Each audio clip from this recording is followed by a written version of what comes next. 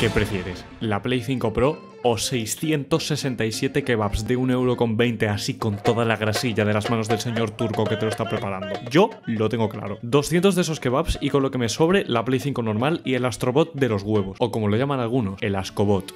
Espera, perdona. Me gustan los videojuegos y me gusta mucho más cuando salen bien, pero parece que a Twitter, cuando sale bien un juego, es el peor evento del Fornite posible. A ver, escuchadme. Astrobot es oficialmente una saga. Tres juegos tiene. Un juego VR y los importantes. La demo técnica de la Play 5 y el juego real que... ¡Oh no! Dura 6 horas. A que te pillo de la cabeza y te tiro muy muy fuerte. Vamos a empezar por el principio, ¿vale? Okidoki. Astros Playroom fue una demo creada cuando salió la Play 5 para dejar claro a la gente que el mando que han hecho es la polla. Todo el mundo lo vio primero de Johan y luego jugó porque digamos que por kilómetro cuadrado había más o menos 0,4 Play 5 en ese momento. Entonces, primero gameplay y luego jugar, no había de otra. No tuvo mucha revuelta porque era gratis la demo, pero ahora, oh no amigos, cuidado, un equipo medianamente pequeño ha trabajado adecuadamente para sacar un juego más largo basado en una demo que gustó mucho a la gente. Qué, qué putada. Joder, yo de esta no me levanto, ya os lo digo. Por suerte, Twitter no es la vida real y las opiniones que hay en Twitter no son las que representan la realidad. Seguro que la mayoría de personas que han dado dislike a la película de Minecraft era por decisión propia y no porque tenían Twitter. La gente que ha comprado el Astrobot, por lo que sea, les ha gustado. Y no me sorprende nada. Desde que enseñaron el primer tráiler pensé que habían tenido la mejor idea de toda la vida de PlayStation 5. Sacar un juego. Porque it has no games. Am I right, gamers? It has no games. Oh my god. No.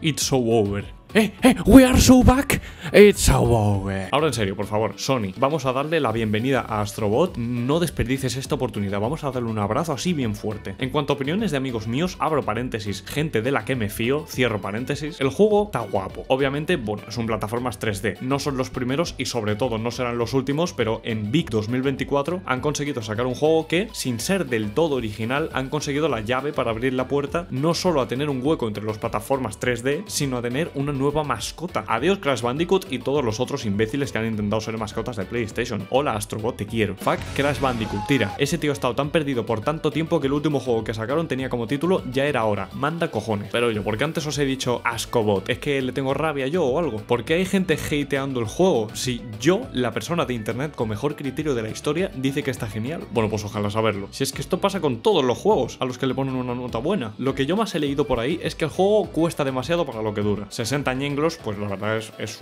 unos, un número bastante alto, sí. Pero yo creo que el problema no es ese. El problema es. Voy a tapar la cámara de este señor, ¿vale? Mientras habla. El problema es que al que le da por comparar duraciones es que lo hace a partir del típico vídeo de inserta nombre de juego, walkthrough 100% guide. No te jode. Estamos tontos o algo, yo creo. Si quieres, hacemos la prueba, ¿eh? Por mí ningún problema. Walkthrough 100% del Kirby Forgotten Land. Ah, bueno. Walkthrough 100% del Mario Odyssey. Hola, Caracola. ¿Tú crees que estos juegos duran eso? Porque ya te digo yo que no. Por si no has caído aún, estos vídeos prácticamente son unas guías. Lo que significa que la gente que hace estos vídeos sabe perfectamente a dónde tiene que ir y dónde está absolutamente todo para conseguir el 100% del juego lo más rápido posible sin llegar a ser un speedrun. Cualquier nivel del Astrobot tiene muchas cositas que explorar. Aparte de que cualquiera se tiraría metiéndole hostias a piedras. El juego largo no es true, no es muy muy largo. El juego muy rejugable, a menos que intentes hacer no hits y estas movidas, no es true, también es true. El juego es tan corto que es una estafa.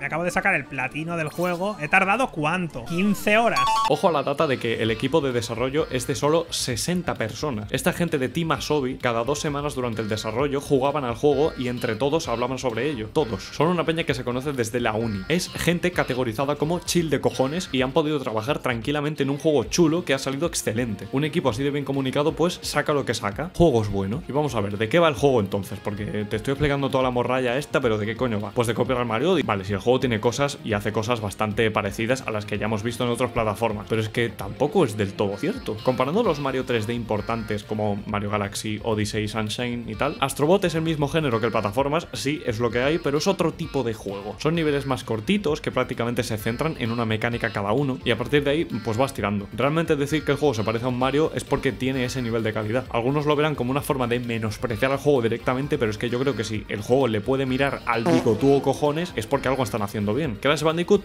pues mola y eso. Jugué a los antiguos, a la trilogía cuando la sacaron, ahí remake, y el Crash 4 cuando lo sacaron en PC. Y aun con esas, yo me quedo con el Astrobot, no meme. Que nadie se equivoque con las referencias de este juego. El juego va perfectamente por sí solo, aunque estén todas las referencias estas que están tope de guapas, que no son solo de PlayStation, sino también de otros juegos que no son exclusivos. Por ahí Ryu y Ken, personajes del Persona, y una cantidad ingente más que, bueno, tampoco es plan hacer spoiler, pero supongo que si tenéis la Play 5 y estáis viendo este vídeo ya habréis jugado. Por mí, si hacen una secuela, podrían hacerla sin referencias y entraría como polla en culo, ya os lo digo. El juego como tal es simple, los diseños de los personajes son obviamente el Astrobot muchas veces y el de los enemigos son robots, aliens, animales malvados. Sé que suena a juego infantil, suenan a diseños simples, pero ni muchísimo menos tira por ahí, derrochan carisma. Quiero decir, no son Goombas, ¿sabes? El puto Goomba, pero a ver, quiero decir, tienen el flow, ¿me entiendes? Si queremos sacarle algo malo al juego, seguramente habría que tirar por la dificultad, porque ya os digo yo que otra cosa mala es difícil encontrarle. Y os digo esto sabiendo que hay niveles chungos de esos, como a mí me gustan. Eso me recuerda bastante al Mario Odyssey también. El juego en general es fácil, lo que se traduce a juego familiar. Espero que gane el GOTY a juego familiar, por cierto. Pero también tenemos unos retos que no son obligatorios, obviamente. Para el platino creo que sí que son necesarios del todo, pero son unos niveles flow parkour y tal. Pasar los niveles, llegar al final y recoger los coleccionables es bastante sencillo. Pero también tenemos estos niveles rollete Kaizo un poco más difíciles con un plataformeo más interesante, con unos obstáculos más difíciles de esquivar. Y es muy buena elección, yo creo, para este juego. Hay peña como el Keroro, por ejemplo, haciéndose ya los mapas sin palmarla ni una sola vez en 17 minutos o así. Los señores estos, además, los del Team Asobi, han dicho que van a sacar un pack con 10 mapas gratis más. No sé si se refieren a mapas normales o directamente a estos mapas con dificultad más alta, pero en todo caso, bravo por ellos, os quiero. Y amigos, un momento, tres últimas cosas para terminar. El juego es precioso como el solo, ya lo veis, o sea, he estado poniéndolo durante todo el vídeo. La música es para ponértela en bucle y no parar jamás en el resto de tu vida. Y hay una escena de, de sexobot.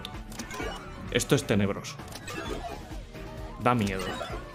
Esto sí da miedo. Y ahora sí, señores, ¿qué tal si hacemos el impresionante ejercicio de ver este juego como el pibe de las dos tartas? Los juegos son buenos. ¿Para qué pelotillas quieres buscarle a las asperezas que tenga? Da igual. Y dicho esto, ojete pi ojete, que se viene un vídeo muy guapo y un poco diferente a lo que suelo hacer normalmente. Así que venga, haceos miembros, a ver si puedo mantener el vídeo semanal, señores. No tiene que ver una cosa con la otra, pero si os queréis hacer miembros, pues está ahí, abierto. Me voy a jugar a Splatoon, que me niego a perderme esa barbaridad de festival que están haciendo. Un beso más.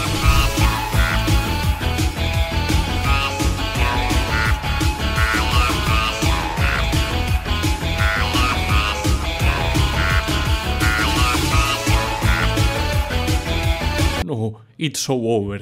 Hey, hey, we are so back. It's so over.